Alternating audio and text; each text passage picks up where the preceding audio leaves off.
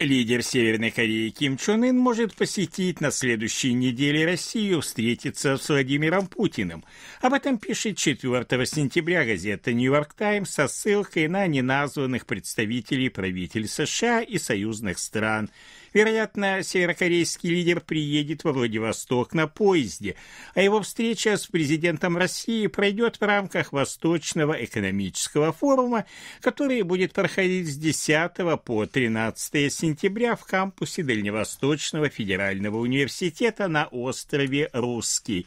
Нью-Йорк Таймс пишет также, что делегация из примерно 20 северокорейских представителей, включая ответственных за безопасность руководства стороны прибыла во Владивосток еще в конце августа, что подтверждает возможность поездки туда северокорейского лидера. Не исключено, что после посещения Владивостока Ким Чен Ын побывает на космодроме Восточный, тем более, что Северная Корея может быть заинтересована в передовых российских технологиях производства спутников и атомных подводных лодок.